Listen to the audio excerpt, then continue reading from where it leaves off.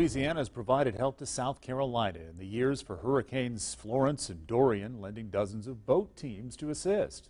Five people from Anderson County face child sex trafficking charges tonight after an investigation that began in the spring. 7 News reporter Ann Maxwell has that.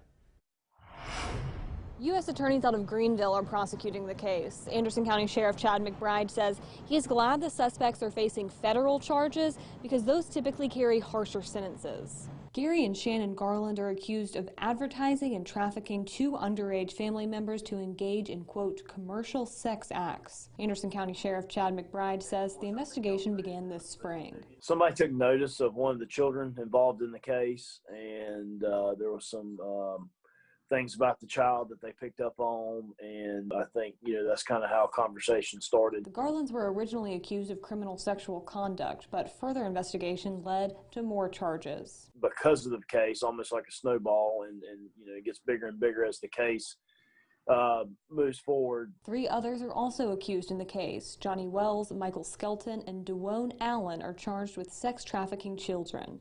According to a spokesperson from the South Carolina U.S. Attorney's Office, they have admitted to having sexual relationships with the victims, but have not admitted to knowing they were underage. Gary Garland is facing more than two dozen charges, including sexual exploitation, criminal sexual conduct, and giving drugs to a minor. The people involved in this case are just sick and demented. The Garlands are also accused of using the victims victims to create child pornography. There's a lot of sick uh, people uh, that, that get involved in that kind of stuff, and uh, certainly a lot of predators and uh, you know, just downright evil people out there that, that search that kind of content.